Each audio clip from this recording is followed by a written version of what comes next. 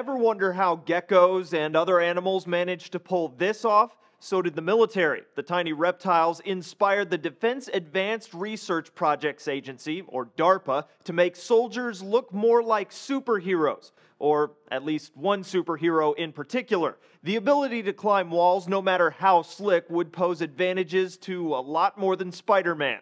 This month, DARPA showed off the results of a 2009 grant to University of Massachusetts and Draper Laboratory researchers, who developed what they called GeckSkin, revealed back in 2012. In the June test, a 218 pound man carrying an extra 50 pounds climbed two and a half stories straight up a glass surface using nothing but gecko inspired paddles. While he wore a safety belt, DARPA said he didn't need it. How does it work? Gecko toes are covered with hundreds of thousands or even millions of microscopic hairs called setae. Normally weak molecular interactions called van der Waals forces get multiplied that many times and give an intensely strong grip. The researchers at UMass Amherst believed it wasn't just the gecko's toes doing the work, but the whole structure of the foot, so they mimicked it. This allows the pad to drape over a surface to maximize contact.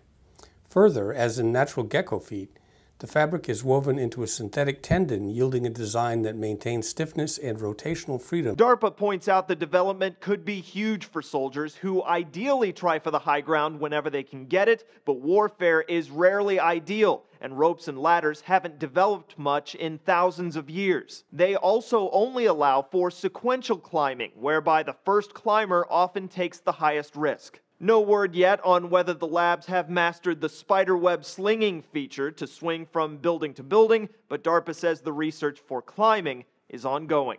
For Newsy, I'm Cliff Judy.